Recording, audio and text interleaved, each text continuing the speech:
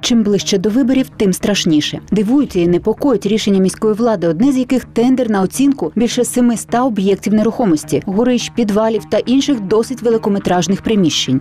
На мой взгляд, это делается э, сейчас для того, чтобы в ускоренном, в турборежиме, как у нас говорят, любят говорить слуги народа, в турборежиме отдать за копейки в аренду своим э, значит, приближенным э, предпринимателям э, эти объекты коммунальной собственности, чтобы они потом могли уже их выкупить. Потому что мы все прекрасно знаем, что после того, как объект коммунальной собственности идет в аренду, э, путем проведения неотъемлемых улучшений стоимостью э, более 25% от стоимости объекта, эм, э, аре- арендатор получает возможность э, получает возможность потом выкупить этот объект по оценке. Естественно, эта оценка будет в разы ниже э, реальной. Сам факт такого раптового аудиту викликає багато питань, хоча сам по собі може бути і корисним. достаточно стихийно провели аудит э, 733 э, помещений, включая чердаки и подвалы. И, в принципе, э, ну, как таковой аудит это неплох, это нормально э, собственности коммунальной, знать, что в ее распоряжении. Э, Но э, очень важно, чтобы эти э, чердаки и подвалы, которые продаются, э, во-первых, чтобы они были проданы за э, реальную цену, за рыночную цену, потому что было слишком много в предыдущей каденции депутатов и городской власти таких громких продаж, которые э, фактически продавались ниже себестоимости и оценивались и по 200, и по 300 долларов за метр, и было понятно, что там есть э, какая-то на- наличная часть или вторая часть. Зараз міськрада хоче зрозуміти, за скільки можна буде передати в оренду, а потім, скоріш за все, приватизувати нерухомість. У список об'єктів потрапили підвали, горища та приміщення у всіх районах міста, в тому числі на Дерибасівській, Грецькій, Катеринінській. Здається, з одного боку, зараз влада прагне продати все, що є. А з іншого боку, з тих же горищ в майбутньому можуть зробити мансарди і добудовувати поверхи, як це відбувається зараз на Дерибасівській, тільки вже законно. Ряд чиновников, которые сейчас понимают, что у них последний дембельский аккорд, что они уже у власти не будут больше в мэрии. Они сейчас хотят быстренько до первой сессии, сейчас у нас же выборы будут, после выборов будет в- время на установление результатов, а первая сессия городского совета будет уже где-то в середине ноября.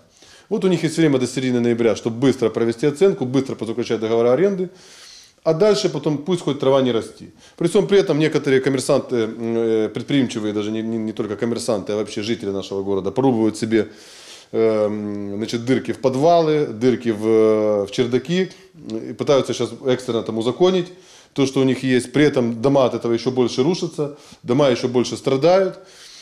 Никому до этого дела нет. В'єтнамським сайгоном у плохому сенсі називає таку хаотичну забудову депутат облради Віталій Саутьонков. Невже Одеса може від неї виграти? те подвалы, те пристройки, те чердаки, которые продаются, фактически э, после продажи идет их реконструкция. И реконструкция их идет не по нормам, э, предусмотренным градостроительной э, документацией и законодательством, а просто как удобно тому или иному предпринимателю. И за счет этого тоже появляются, когда сносятся стены, несущие в подвалах, Итак, ветхий и страдающий исторический фонд, исторический центр продолжает получать дополнительную нагрузку. И то же самое происходит с подвалами. Рушатся монументальные стены, рушатся те стены и э, перекрытия, на которых он стоит, поднимаются потолки, соответственно, поэтому по-другому начинает распределяться нагрузка на все здание. Соответственно, появляются и трещины, и капитальные трещины, Коли старий фонд міста потерпає від віку, безгосподарності та нестачі грошей, коли багато соціально незахищених одеситів, серед яких інваліди, багатодітні, люди з особливими потребами не мають приміщень для своїх потреб. 733 об'єкти комунальної власності, тобто їх власні, можуть піти з молотка, причому з дешевого молотка.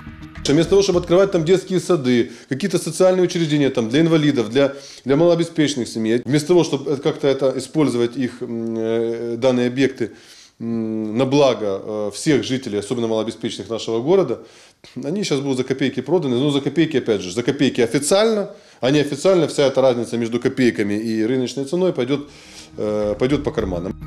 Депутати стурбовані таким розпродажем в лапках. Це не в інтересах одеситів і самої Одеси. Місто втратить дуже багато, значно більше ніж отримують деякі посадовці. Хоча продаж комунальної власності є прибутковою статтею наповнення міського бюджету, але з таким апетитом завтра наповнювати його буде нічим. По поводу э, продажи, я думаю, что должен быть план э, продаж на следующий год, сколько из коммунальной собственности в процентном соотношении можно продать в этот, в следующий или в иной год. Потому что э, коммунальная собственность, она не безразмерная, и когда-то она закончится, и когда-то э, наступит процесс, когда продавать будет больше нечего. Вот интересно, как город будет заполнять эту часть бюджета.